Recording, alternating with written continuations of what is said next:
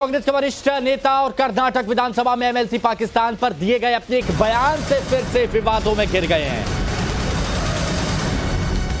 कांग्रेस के वरिष्ठ नेता है।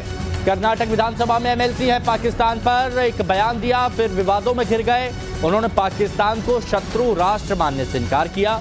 राज्यसभा चुनाव में कांग्रेस की जीत के बाद विधानसभा में बहस के दौरान बी के हरिप्रसाद ने कहा कि पाकिस्तान बीजेपी के लिए भले ही एक दुश्मन देश हो, कांग्रेस के लिए वो सिर्फ़ एक पड़ोसी देश है। दरअसल राज्यसभा चुनाव में कांग्रेस की जीत के बाद कथित तौर पर विधानसभा में पाकिस्तान जिंदाबाद के नारे लगे थे, ऐसा आरोप बीजेपी की तरफ़ से लगाया गया था। और इसी मुद्दे पर बी के हरिप्रसाद ने अपनी बात रखी। इस दौरान बी के हरिप्रसाद और बीजेपी के विधायकों के बीच जमकर नारेबाजी और कहा सुनी भी हुई। बीजेपी ने सवाल किया कि अगर पाकिस्तान दुश्मन राष्ट्र नहीं है तो कांग्रेस बताए कि क्या वो उनके दोस्त है?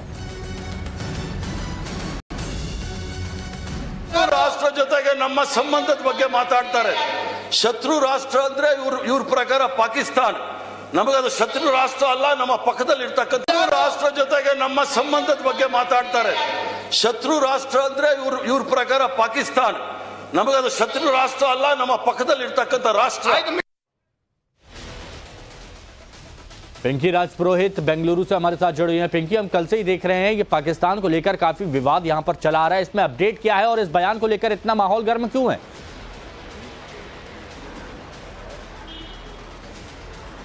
देखिए, आपको बता दें कि कांग्रेस सांसद राज्यसभा का चुनाव जीतने के बाद जिस तरह के स्लोगन्स लगे थे नासिर खान जिंदाबाद और बीजेपी का हालाँकि ये कहना है कि उस ऑडियो में जो सीधे तौर पर सुनाई दे रहा है कि पाकिस्तान समर्थक नारे लगे हैं।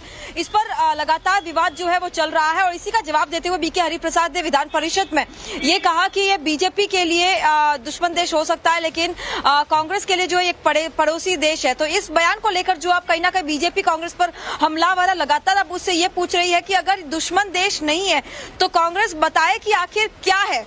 पाकिस्तान आखिर क्या है? ये ये जवाब जो है वो कांग्रेस जवाब दे इसका। और साथ ही बीके हरिप्रसाद ने कहीं ना कहीं आडवाणी को भारत रत्न देने पर भी आ, सवाल उठाते हुए कहा कि क्या आ, जब लाहौर में जिन्ना की मजार पर जब वे पहुँचे थे तो ये ये जो है बीजेपी के लिए कि, कितना गवारा गुजर सकता है? क्योंकि सवाल ये भी उठाया कि आखिर क्या उस वक्त पाकिस्तान दुश्मन नहीं अच्छा, था?